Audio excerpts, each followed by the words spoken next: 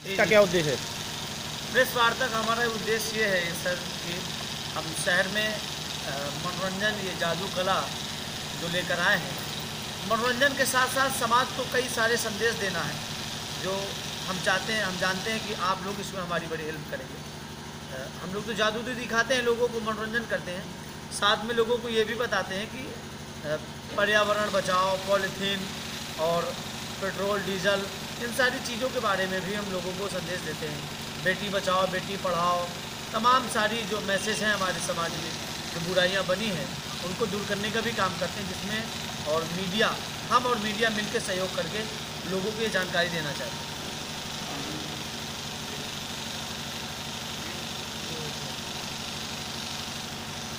कार्यक्रम आयोजित किया जा रहा है। जी जी। इसमें आपके कोई अंधविश्वास या किसी प्रकार को जन, नगर की जनता के लिए कोई संदेश इस तरीके से देना चाहेंगे आप?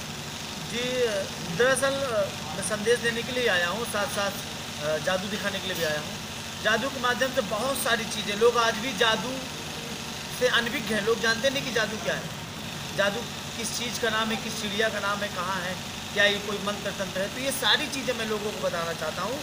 और जादू संबंधित जितने भी अंधविश्वास हैं, मैं सबको दूर करने के लिए मैं शहर में आया हूँ।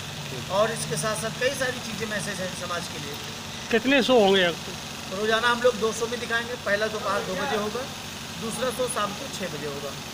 रविवार को हम लोग 300 में दिखाएँगे एक बजे दूसरा चार बजे तीसरा शाम को छः बजे से।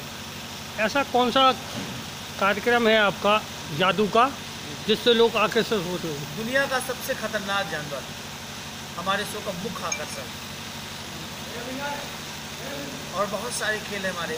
टोटल हमारा जादू कॉमेडी शो है बिल्कुल एकदम कॉमेडी ये तो कपिल शर्मा जी ठीक है बहुत हो गया।